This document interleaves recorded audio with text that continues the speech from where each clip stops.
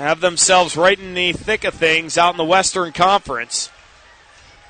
Of course, just the one team will miss the playoffs. Huge hit down at the side of the Condors cage. And then McKenzie finally finds a dancing partner. Throwing punches and oh, everybody breaking loose. Gloves all over the ice. Cloud Jostling behind the net. Cloud's the one that jumped in after McKenzie, who saw him coming and landed a good one on him right away.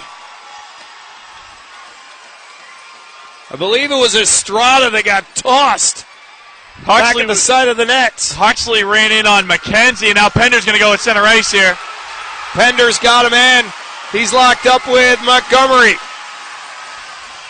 Montgomery holding on to Pender. Two big boys here. He's got his right hand free, but he can't reach Pender.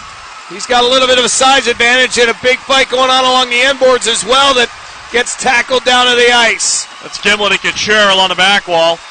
Pender lands a right on Montgomery, who doesn't want to let go of Pender, who comes up underneath and tries to shake himself loose. Pender takes one, and then he gives one right back to Montgomery as they tumble down the ice, and they're back up. And then another Reign player comes over and jumps in the middle of it. And it's Estrada. And Parker Stanfield reaches in. I think Stanfield's the only guy on the ice still with his gloves. And then that changes right now. Pitton coming out at center ice, wanting to have some words with why two Reign players are attacking a Condor. Three Reign versus two Condors. Montgomery's got one guy. Pitton comes in and grabs the one man and pulls him off Pender. And here comes Berube. He wants to get a piece of Pitton. He took his mask off and everything. Pitton's gonna go with Berube. Lands a couple of rights on Berube. Another right on Berube. Brian Pitton still with his mask on. Throws lefts, and it doesn't matter. He can have no gear on. Berube's got no prayer in that one. Estrada has a hold of Pender. Still a wrestling match behind the Condors net. It's mass hysteria. Cats and dogs living together.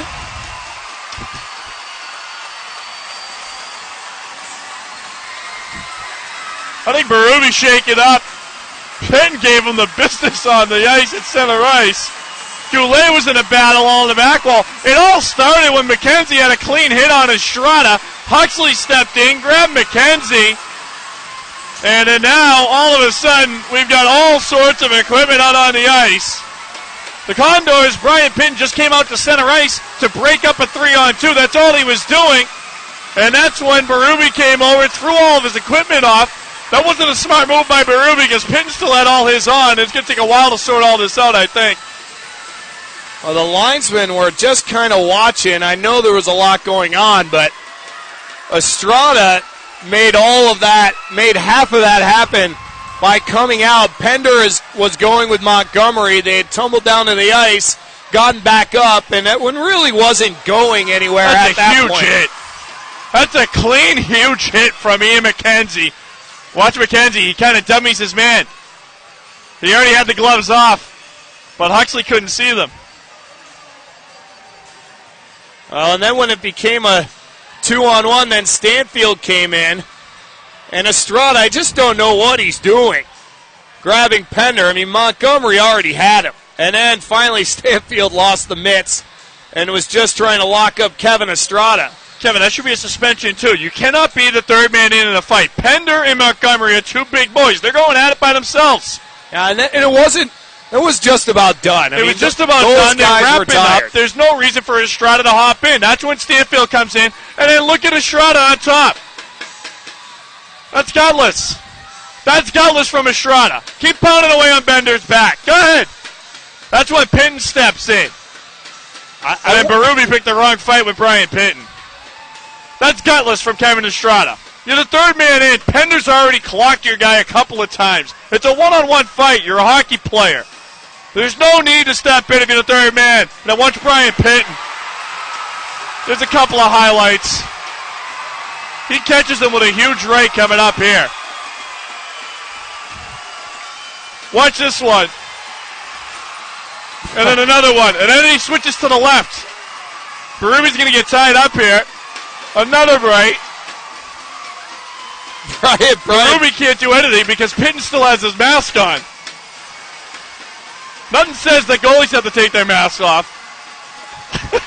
I mean, Pitton was just coming in to step step in for his man, and really was just trying to grab a straw. But you know, I I mean, you just had the sense that Berube wanted this to happen, wanted that to happen beforehand.